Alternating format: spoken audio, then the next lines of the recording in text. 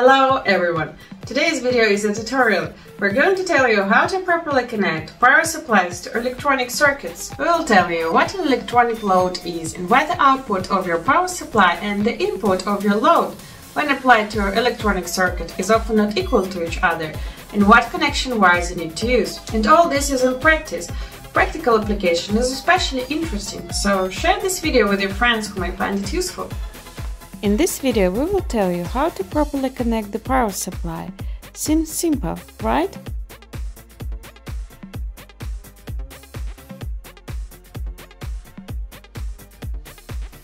However, an eagle-eye viewer of our previous video notices a slight difference in the readings between the display of the power supply. Here we see 5 volts, and on the electronic load, here we see 4.67 volts.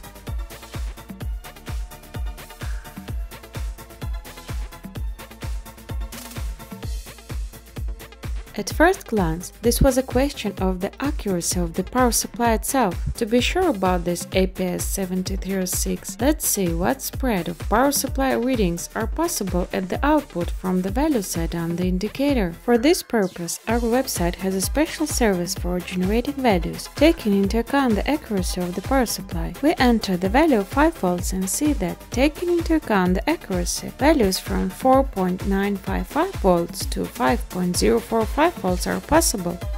Let's check the real-life values of the output voltage of the power supply using the Aktakom AM1060 digital multimeter. However, the voltage at the input of the electronic load is 0.3 volts less than at the output of power supply APS7306. Looking further for the voltage difference, we measure the voltage on the wires and we get about half of the losses on each of the two wires. Having replaced the wires, we see that the difference in readings 5 volts on the display of APS 7306 power supply and 4.94 volts on the electronic load has decreased significantly. So now, it is clear to us, we have losses in the wires when a large current flows. Let's repeat the measurements of the losses on the wires. They remain, but their value is significantly less. Therefore, it is important to choose short and thick wires to connect the power supply to your device.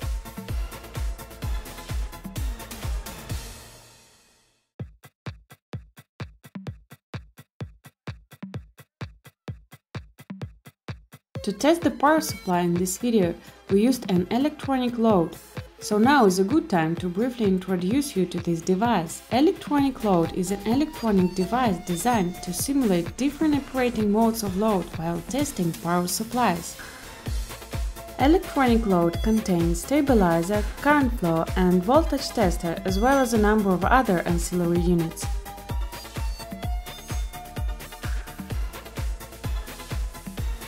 The stabilizer provides various operating modes of the load, current stabilization CC, voltage stabilization CV, power stabilization CW, or resistance stabilization CR.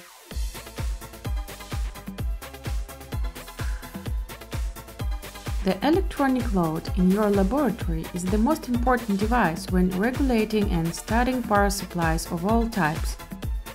The most popular loads are available on our website. Thank you for watching the video. We hope it was useful for your work. Please don't forget to like and subscribe to our YouTube channel and to turn on the bell so you don't miss our next training course. Bye bye and see you later!